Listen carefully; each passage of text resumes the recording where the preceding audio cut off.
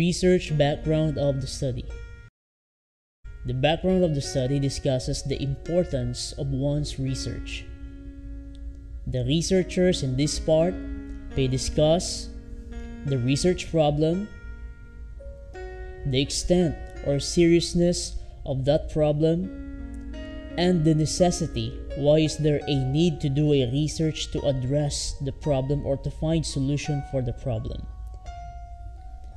Ibig sabihin, sa background of the study ay dinidiscuss ng researcher kung gaano kaimportante o kahalaga ang kanyang gagawin o sinasagawang research o pananaliksik.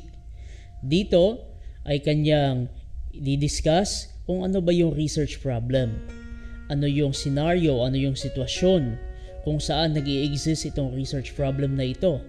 Pangalawa, dito ay tinatalakay din o dinidiscuss ng researcher kung gaano ba ka seryoso, gaano kalawak itong research problem na ito at sino-sino yung mga karaniwang nakakaranas nitong research problem na ito, sino-sino yung mga uh, dumadaan sa ganitong problema.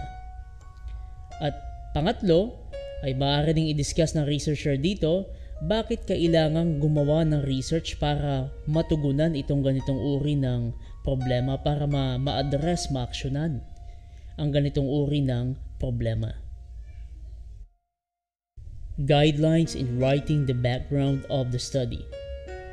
First, presentation of the problem. Explain the research problem clearly as observed and experienced. Ibig sabihin, sa unang part na ito, kinakailangan ay may paliwanag maigi ng researcher ano ba yung research problem. Papaano niya ito nakita? Papaano niya ito naobserbahan? Ano ang mga kondisyon o sitwasyon na kung saan ito ay naobserbahan ng researcher, paano ito nararanasan ng mga nasa ganitong uri ng problema o yung dun sa research problem na ating tinatawag. So, kailangan yon ay maipakita, ma-discuss, ma-present ng researcher sa unang part. The second part of the background of the study is to discuss the seriousness, the degree or the extent of the research problem. Ibig sabihin, sa part na ito, kinakailangang ma-discuss ng researcher kung gaano ba kaseryoso yung problema na yun na pinresent niya. Gaano kaseryoso yun?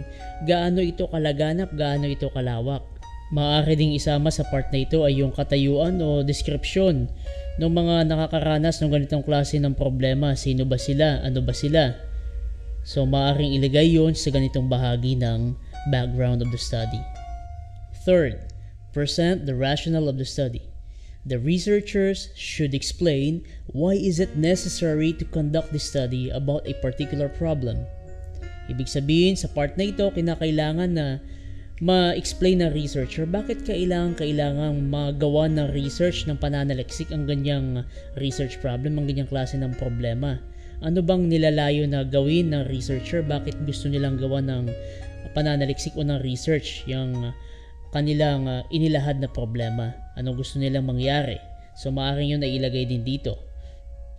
Last but not least, present historical background of the problem. It includes ideas, phrase or sentences, and findings from other research studies that are relevant to your study.